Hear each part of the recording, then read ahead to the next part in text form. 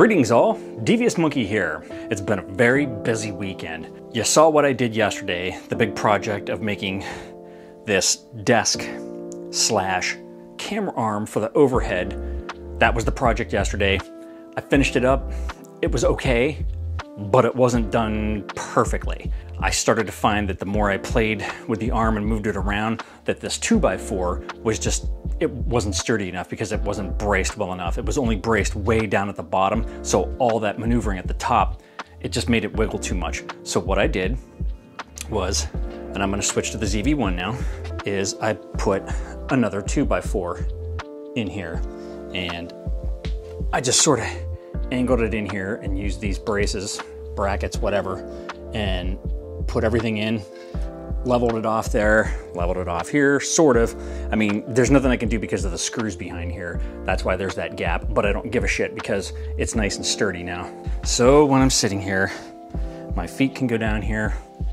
This thing is still just very jiggly because, well, it just is because it's a flimsy piece of plastic and shitty metal, but whatever. This thing is now sturdy. That ain't going anywhere. That's pretty much it. And I did that today. I did not want to do that today because it has just been pouring all day since last night.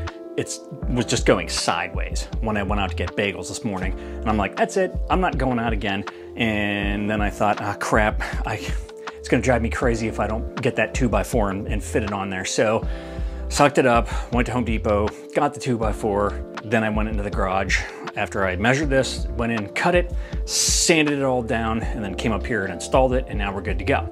And now I need to start my normal Sunday routine, which is laundry and my office day for the day job. So I need to get cracking on that, and uh, I'm not going to get puppies this week just because I can't. I, I have other stuff to do. I was asked about the ZV-1, whether I was selling it or not. Once again, I have decided to not sell it that's why I built this contraption so that I can just use it as an overhead cam. And I continue to get questions on a lot of my older videos, especially about the ZV-1 with the power and all that kind of stuff, and on the A6600 with the firmware update. So I'm gonna touch on all that right now real quick. I am keeping the ZV-1, I'm using it as an overhead. I have stripped it down, as you can see. So it is just literally the ZV-1 with the cage and the Peak Design plate. And I'm using the internal. And that's about it. That's all I've got on there.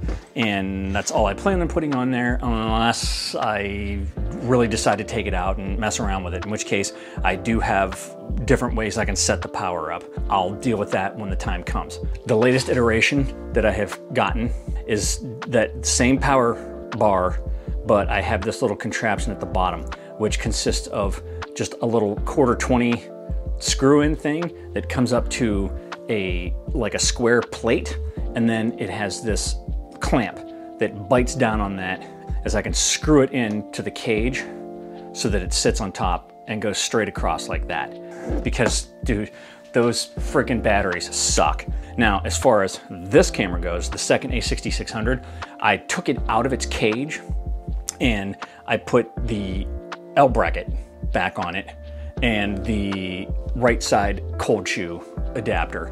Gives me a little bit more grip at the bottom, which is what I like. If I am going to run and gun it with the with the setup that I showed you before with the handle and, and all that stuff, and you know, and the side handle and the top handle and everything, then I can put it back in the cage. So that's kind of it. Uh, I just sort of wanted to touch bases on stuff. The ZV-1, I'm keeping it.